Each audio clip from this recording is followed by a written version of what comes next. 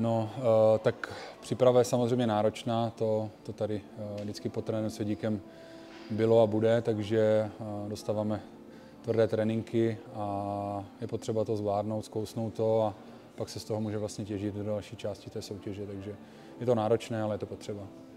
Jo, tak ty hřiště jsou perfektní. Dřív jsme vlastně jezdívali semka taky a, a ty hřiště bývaly takové, že, že to jako, sice to byla tráva, ale nebylo to úplně, úplně top, a, ale teď mi to přijde fakt, že to, je, že to je na špičkové úrovni, takže co se týče hřiště, tak to si fakt nemůžeme stěžovat, to je perfektní. Když prší nebo, nebo je krásně, tak, tak to hřiště je pořád stejné. Co se týče hotelu, tak v tomto hotelu jsme vlastně byli, když trenér Svědík přišel, takže to, takže to tady známe dobře a, a ta strava, to, myslím si, že to je taky jako všechno v pořádku a, a nemůžeme si na ní stěžovat určitě. Tak když jsem vlastně začínal, tak uh, se chodilo hodně do lesa a ten balon se vlastně přidával postupně. Teďka je to spíš takové, že to je nakombinované, že někdy jsme v lese, ale, ale většinu, většinu té přípravy trávíme na hřišti, kdy, kdy se běhá i tam a všechno se dá udělat s tím míčem, takže, takže je to trošku rozdíl, než, než to bývávalo určitě. No.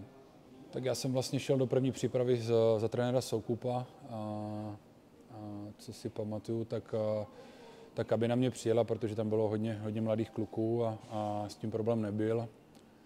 A jestli si dobře vzpomínám, tak a, takový šéfik tam byl tenkrát Švanci, takže asi, asi si tak vybavím, tak nejvíc asi Švanciho. No. Tak a, myslím si, že můžeme být spokojení. Asi si myslím, že že jsme úplně nečekali, že budeme zase hrát takhle nahoře, ale jsme za to samozřejmě rádi. Zápasy, které se nám podařily, tak eh, myslím si, že se nám podařil ten konec, kdy, kdy jsme z těch pěti těžkých zápasů urvali, eh, urvali hodně bodů.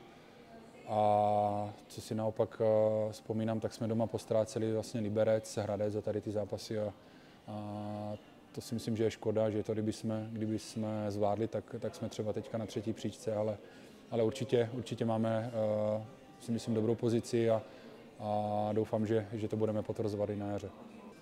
Doufám, že, uh, že se nám budou vyhýbat zranění a, a to, že dobře potrénujeme, to, to si myslím, že, uh, že to tak bude, uh, protože ta příprava je vždycky náročná a, můžeme z toho potom těžit, takže uh, doufám, že ty zranění budou v co nejmenším počtu a, a ty zápasy budeme zvládat a, a třeba se nám podaří i, i zase nějaký, nějaký ten boj o tu, o tu Evropu.